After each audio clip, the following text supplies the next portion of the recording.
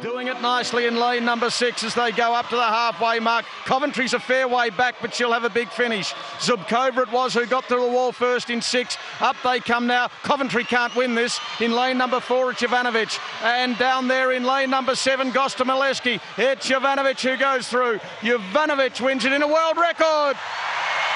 World record time for Sanja Jovanovic. She has lowered her own mark. 26.37, shaving 13 one hundredths of a second off her own time.